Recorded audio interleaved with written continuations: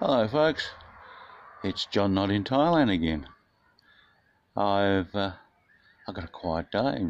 Nothing's happening out here. My son, uh, being Sunday, my son's taken the afternoon off. Uh, the deck's still under construction, but it will get finished soon. Today, he worked on the stairs, which look quite smart. Uh, same material that the deck's made out of. And he's finished off quite nicely. So there's only a few things to be done now. There has to be a, a safety rail put on. And then he's going to use some wire to uh, put lower lower protective barriers to stop kids or dogs falling off.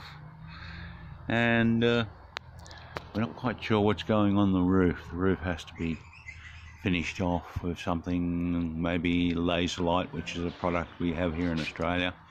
He looked at other products which were more expensive and quite nice actually, but uh, yeah, there's a problem getting the sizes you wanted.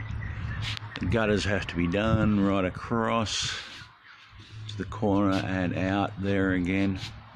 So that's a job for maybe Wednesday, I think. Uh, we'll wait and see what happens. I'm off to Cairns on Thursday, so I might not be here when it gets finished. Yo! anyway, just a deck update at the moment. Oh, and the air conditioner has to go back in.